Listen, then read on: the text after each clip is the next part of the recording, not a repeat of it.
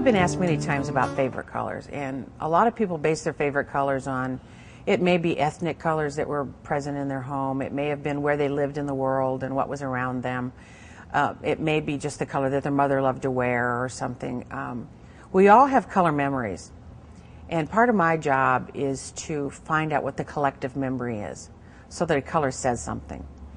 Um, oftentimes, the, uh, the ideas that colors bring to our mind are things that are recognizable. Blue is water, green is foliage, that sort of thing. Um, number one favorite color, by the way, is blue. And it's universal around the world because we all have one thing in common, and that's a blue sky.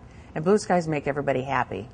But join with the fact that blue is a short wavelength color and it's very calming, adds to it. And if you ask people where they can go for their favorite place to go relax, they usually say someplace near water even if it's just a swimming pool. And so that connection to water is very important.